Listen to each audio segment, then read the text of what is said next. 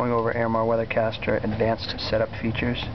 The Advanced Setup button is located in the top right of the back screen, the Weathercaster screen. You then come into an Advanced Setup box by clicking on the Enable Disable functionality tab. You then get to the Enable Disable. This is where you can turn off NMEA 0183 sentences or NMEA 2000 PGNs. The bandwidth indicators here, you would want to always keep that in the green level. You can check boxes to be turned on or off or NMEA 0183 sentences and the bandwidth will increase or decrease. You can slide down to view all the sentences. If you hover over a sentence with your mouse, you will see what the sentence actually sends out.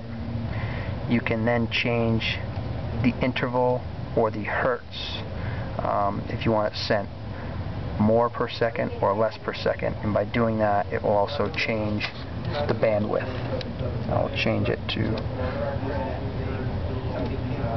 I'll change this 0.1 as you can see the bandwidth does increase. You can save down here on the right or cancel. You can also click the defaults button down here at the bottom that will bring it back down to defaults. There's two tabs at the top. There's the NMEA 0183 display settings and the PC settings. If you're using the weather station with a NMEA 0183 display only, you want to make sure you make the changes to the NMEA 0183 tab.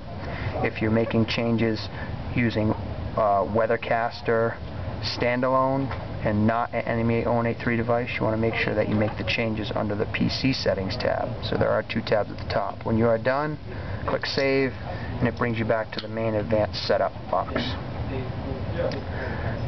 The information on the main advanced setup box, self-test status, you can click details, get information here.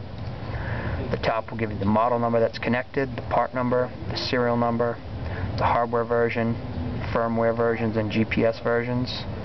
Um, here's the enable disable functionality box which we just went through sensor orientation, sensor options, compass calibration for PB200s and H283's GH283 models, NMEA 2000 settings if we were connected to the NMEA 2000 network, and you can restore factory defaults by the bottom. It will prompt you, click OK, and then the factory defaults are reset. Communications diagnostics, this is where you can select which COM port you would like to use and the baud rate. Airmar converters use a baud rate of 4800. Airmar combiners use a baud rate of 38.4. You can either manually select or auto detect the COM ports. We recommend to manually select and click the refresh COM ports button and select the one from the drop down. You can also log raw data by clicking the checkbox here and then you can select where on the computer you would like to log this raw data. This is saved as a text file. When you have made these changes you can click apply and it will then try to connect to the weather station. Update Flash tab allows you to update firmware within the weather station itself or the GPS or the heading sensor. You select the file. They are .ax files. Click open it would check the connection to make sure that you are sending the right file to the right connected weather station and click program and it will allow you to program. The checking sensor data may take several seconds in order for it to pull the weather station. It also gives you the current firmware versions that are located on the unit.